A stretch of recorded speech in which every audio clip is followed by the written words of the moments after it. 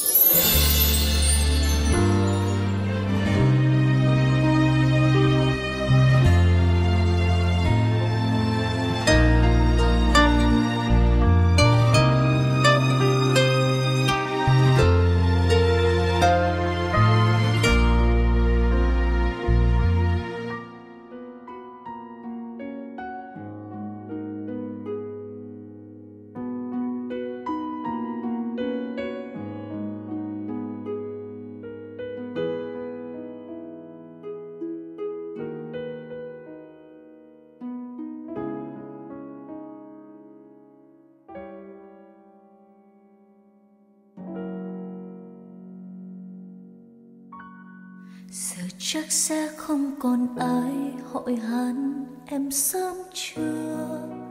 Chắc sẽ không còn ai đón đưa em mỗi ngày. Chắc sẽ không còn ai mỗi khi buồn lắng nghe em chuyện trò. Mà em giờ chắc cũng chẳng buồn nữa đâu. Chắc cũng không cần ai gọi em mỗi sớm mai.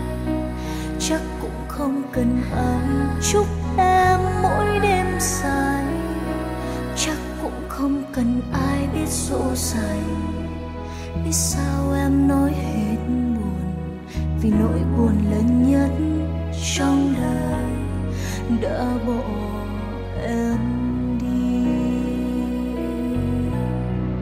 và giờ đây em chẳng muốn ai xung quanh em đổi về anh.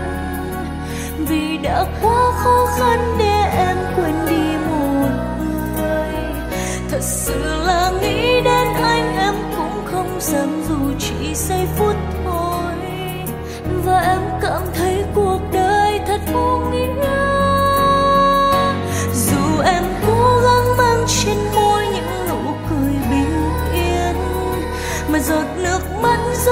trong tim cũng đành phải vỡ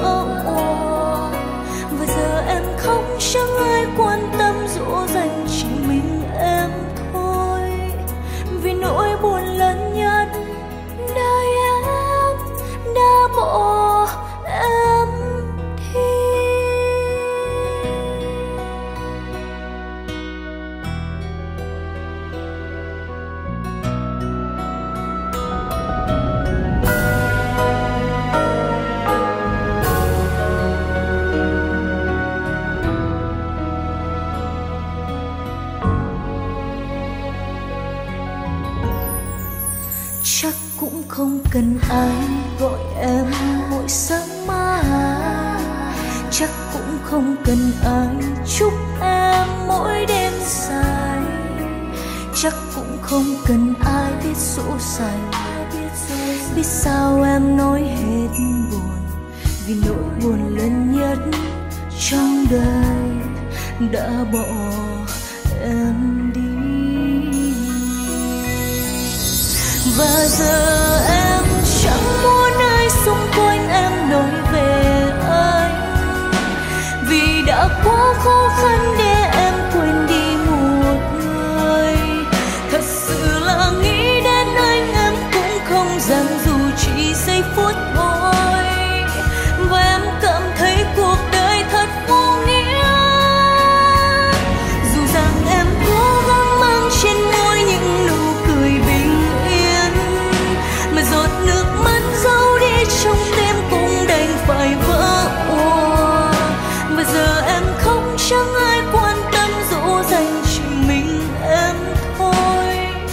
vì nỗi buồn lớn nhất đời em. Và giờ em chẳng muốn ai xung quanh em nói về anh. Vì đã quá khó khăn để em quên đi một người. Thật sự là nghĩ đến anh em cũng không dám, dù chỉ giây phút thôi. Và em cảm thấy cuộc đời thật vô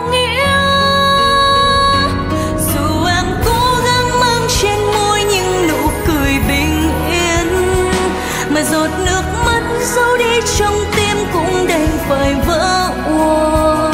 Và giờ em không trong ai quan tâm dỗ dành chỉ mình em thôi. Vì nỗi buồn lớn nhất đời em đã bỏ em đi.